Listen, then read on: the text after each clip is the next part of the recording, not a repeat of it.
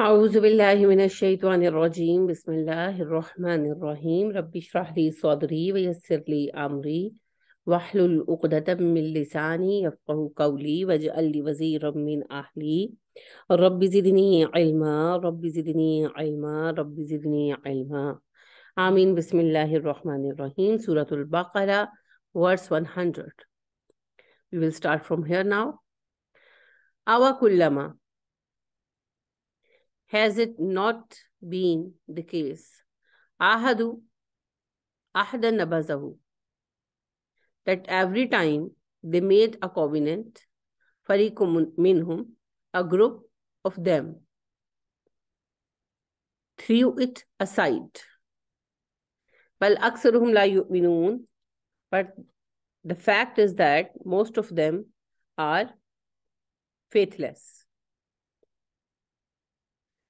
Allah subhanahu wa ta'ala is saying in verse 99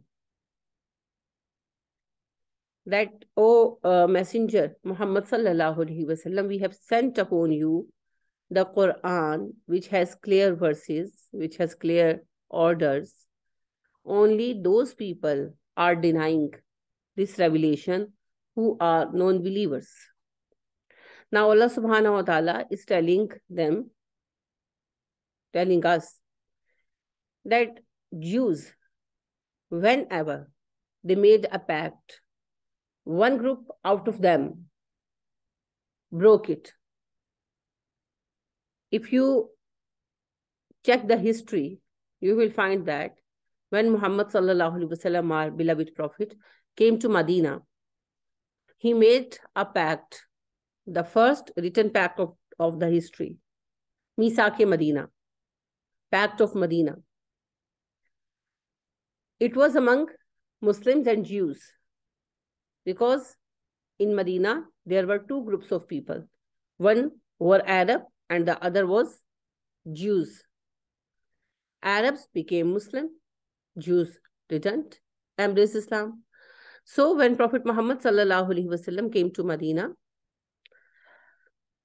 he made a pact among Muslims and Jews for the peace in the city. According to this pact, Muslim and Jews are bound to help each other in case of any attack on Medina. And they have to defend the city together. But in first attack, in first war, it was Badr. Kufar Makkah attacked on Medina and Jews denied to help Muslims. Messenger of Allah, Prophet Muhammad wasallam, said, "Okay, we will handle the situation. Just don't create any hindrance." But Banu Kanka, a tribe of Jews, had the non-believers and betrayed the Muslims. So after Badr, Messenger of Allah, Hazrat Muhammad sallallahu alaihi wasallam, sent them out of Medina. After Badr, the next war was Uhud. In Battle of uh-, Uhud, Banu Nazir betrayed and they had the non-Muslims and they broke the covenant, the pact. So after Uhud, Prophet Muhammad wasallam fought a battle with uh, Banu Nazir and pushed them out of Medina. After Uhud, the next battle was Battle of Khandak. It was also called Ghazwa Ahzab. In this battle, Banu Qurayza betrayed Muslims, although it was the most difficult war for Muslims. Uh, the non-believers brought a big uh, army. Uh, it was 10,000 people in that army. And Muslims were 2,400 warriors. Obviously, it was a difficult thing. The winter was very crucial at that time. Severe winter season has started. And due to this uh, season, seasonal situation, Muslims had to face many problems. And for one month, 29 days, they sieged the Medina. It was very difficult time. And in this situation, in the last week of the siege, the Jews tried to attack on Muslim women and kids. Prophet Muhammad sallallahu alaihi wasallam put all females and children in a safe place. In one building.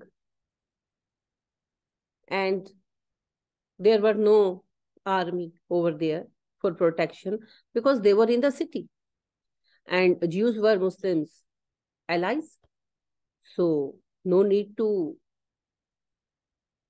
make some um, acts for protection. They were already, alhamdulillah, at a protected place.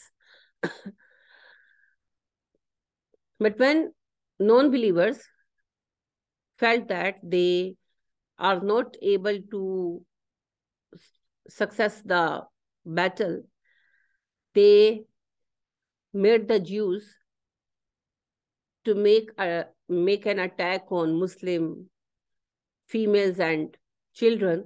So Muslim army had to leave their places and they can win the war. But Prophet Muhammad had got informed about it and he sent 200 warriors to protect the building for Muslim women and children's security. But it was a very, very um, sheer betrayal during the war. So after Ghazwa Khandaq, when it was ended, Prophet Muhammad wasallam attacked on Bani Qurayza and punished them. So this is what Allah subhanahu wa ta'ala is discussing over here. That what is the sign of fisq? Sign of a person who is unobedient. He is not obedient of Allah subhanahu wa ta'ala and not obedient of people. He is a faithless person. The greatest and the most important quality of that person is he always break his promise.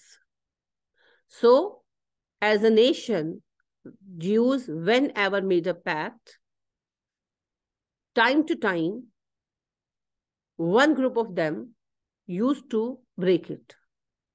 And this is the sign of their faithlessness. So Allah say, is saying, because of this faithlessness, they are denying you being a prophet. But the fact is that most of them are faithless. They don't have faith.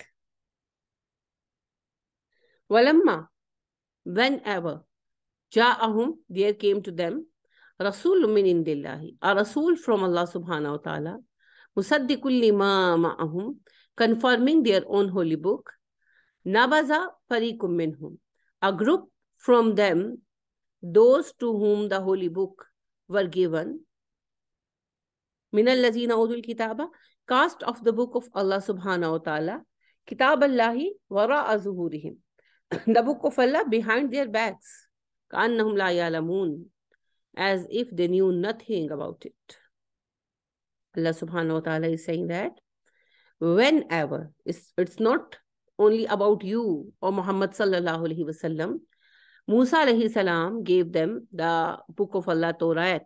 and after Musa alayhi salam, whenever, whenever a messenger came to these people and he gave them another book which was confirming the Torah, they never believe in him and they put the book of Allah behind their backs. They even neglected the Torah because they don't want, they don't want to follow it. And nowadays we are behaving like this. In every field of life, you can see that. Every one of us knows that parda is a part of Islam. But majority of Muslim women are not using veil, not doing hijab. Every one of us knows that music is haram in Islam, but we don't care. Almost every one of them is knows, knows that riba, sood, interest is prohibited in Islam. But the all Muslim countries are using the Sudi system, the system which is based on interest. Why? every one of us knows that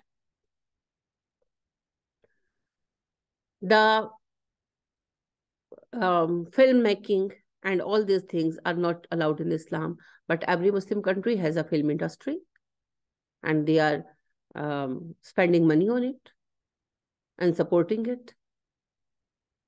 Every one of us knows that bribe is haram in Islam, but people are very openly use it.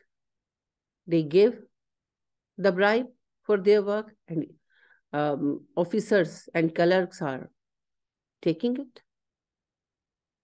So what is this behavior?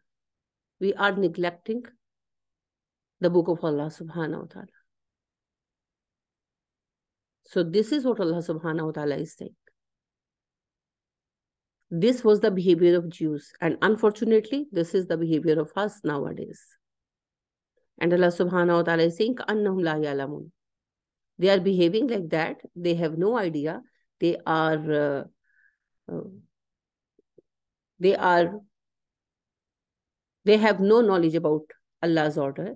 They have no knowledge of book. Although it's so true. So this is the behavior of faithless people. so we will have to change our attitude towards the book and towards the Allah's commands.